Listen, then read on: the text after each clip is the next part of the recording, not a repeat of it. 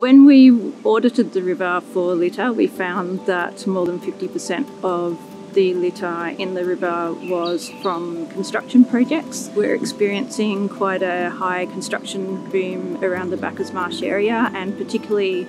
in areas that are either along the river or where stormwater drains come down and then exit into the river and unfortunately directly into the very areas where the platypus are most commonly sighted. Our uh, project aims to reduce that litter at the source, so to be able to help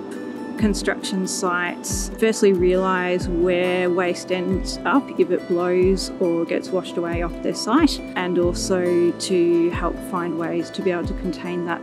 on site more easily. The first step um, in our project was to run a poster competition for um, kids where they could design posters about protecting our local platypus.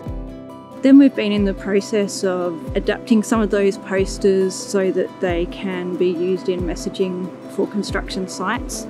Construction sites will be given two corflute signs that they can display at their site, stating that they've pledged to be a clean site for platypus and also with reminders about what they can do to stop litter from blowing or flowing off their site. We're also asking construction workers to actually give us tips, given that they're on site, so they know what works and what doesn't, of how other construction sites could reduce the amount of litter that exits their site. Some of the results that we've started to notice so far is that um, there has actually been a reduction in litter coming into the river, and the platypus has returned this year directly in the areas where we've conducted litter cleanups as well. So we're really glad that we did some of the auditing because there's platypus swimming through this area and they could have been caught in the litter that was here.